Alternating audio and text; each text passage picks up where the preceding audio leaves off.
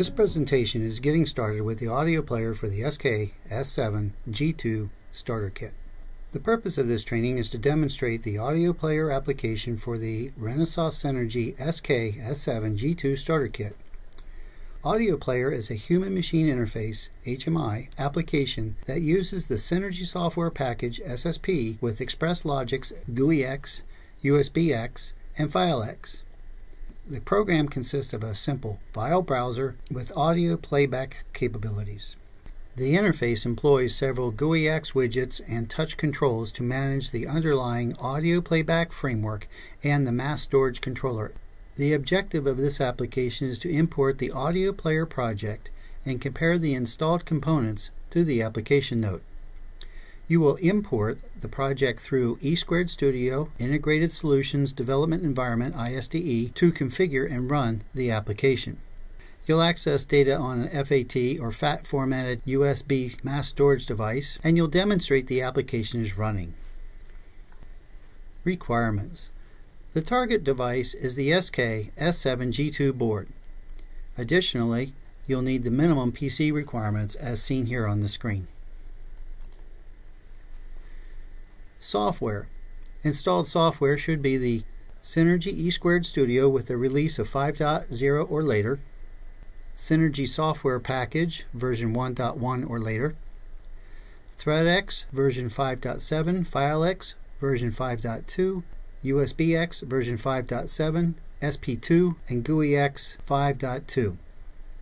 We'll also use the test DAV2D version 3.12. The Audio Player application supported file formats. The Audio Player application is compatible with uncompressed WAV files in PCM format. Please make sure the audio stream is signed mono with 16 bits per sample and sampling frequency of 44.1 kHz. The audio player will prevent incompatible files from playing. Supporting documentation. This video is based on the application note Renesas Synergy project Getting Started with the Audio Player Application from June 21, 2016. This application note is available on both the Renesas Electronics website and the Renesas Electronics Support Gallery. Importing the project to E Squared Studio. To import the project to E Squared Studio, this step is included to give you the ability to skip the development steps and start at the point of verifying the working project on the SK S7 G2. For additional information on how to go about importing a project into E Squared Studio, refer to the application note Synergy Project Import Guide. Once we have imported, generated, built and debugged the project and it is now running, we'll be able to see screens on the LCD screen of the SK S7G2. The splash screen. You will see the splash screen just after the start of the program. The screen is drawn by Express Logic GUIX using the SSP GLCDC driver. After several seconds, the screen changes to the USB screen, determined by the presence of the USB mass storage device. Taking a look at the USB screen, this screen is displayed when a USB mass storage device is not detected. Certain devices are recognized fast enough for the application to skip the screen and jump straight to the main screen. Others will require additional time to fully initialize before being recognized by the Synergy board. It will also be displayed when no mass storage devices are plugged in. Once we have plugged in our mass storage device, we will see three types of screens. The stop screen, the playing screen, and the pause screen. The main audio player screen appears once the USB mass storage device has been detected. Starting at the top of the screen, you'll find a status bar, a file browser, and three buttons. The interface dynamically adjusts to reflect the current playback status and provide necessary functionality. The file browser allows the user to explore the system and open a PCM WAV files for playback. The stop screen. You can use the scroll up and scroll down buttons to view the contents of the file list. Once you have found the selection, you can press the Play WAV file. The playing screen. During play, you can rewind 10 seconds, pause, or fast forward 10 seconds. The pause screen. You can restart from the beginning, resume play, or exit playback. Due to limited screen space, the application utilizes two onboard push buttons, S5 and S4, for playback volume control. So let's go through a demo. After we have started E Squared Studio, we want to import the project. I've already downloaded the project from the gallery and I have extracted the files from the zip file.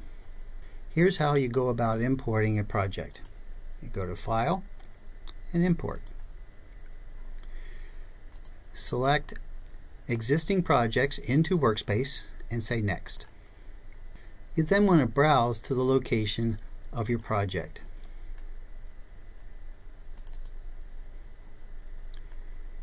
This project was built for the DKS7G2, the PE HMI1, and the SK S7G2. We'll select the bottom one. It is a zipped file. Here you can see that the project is selected and that our finish key is dark black. At this point we want to expand our project. Click on Configuration XML and we want to make sure that we have the configuration perspective. The way you adjust perspectives is by clicking on this icon up here and selecting the appropriate perspective, which is what we're already looking at. We then want to generate the project content, build our project,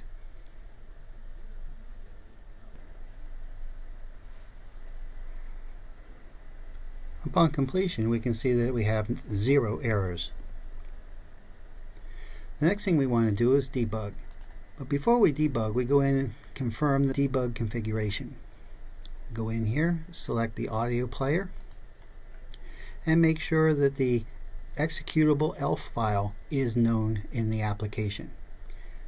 It is, so we'll be able to continue on by hitting debug. This screen pops up when it, it asks you if you want to change to the debug perspective. Remember that it will stop at two breakpoints. One is directly underneath the reset handler, so we hit resume, and the second one is right after main, so we also hit resume. Notice at the bottom left hand side, our project is running. At this point, we can take a look at our SK S7G2. Now that we have imported, generated, built, and debugged, the project is now running. To verify the application, we will first insert a FAT formatted USB drive.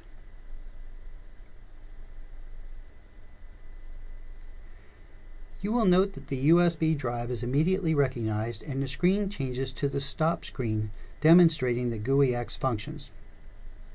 Within the stop screen, you will see files listed demonstrating the FileX functions. We will select one of our WAV files and press the Open button, and then we will press the Play button to demonstrate the overall functionality. During this process, I will demonstrate the fast forward and the rewind for 10 seconds.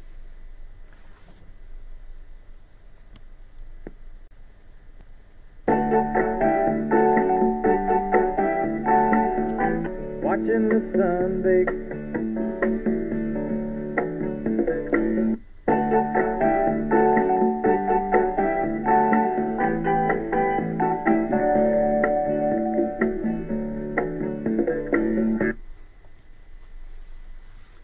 To adjust the volume, you would press the S4 or the S5 buttons to increase or decrease the volume. Nibbling on sponge cake watching the sun bake.